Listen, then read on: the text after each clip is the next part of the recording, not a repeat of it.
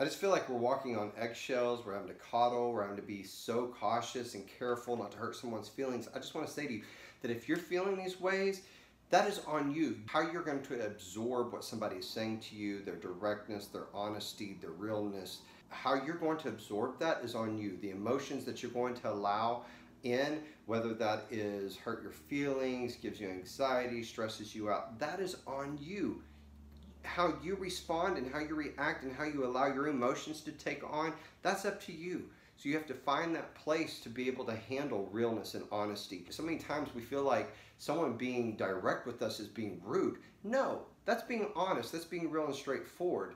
We don't have time in the business world to sit here and coddle and to, to walk on eggshells around every single issue. We need to be able to be direct with one another and stop being babies.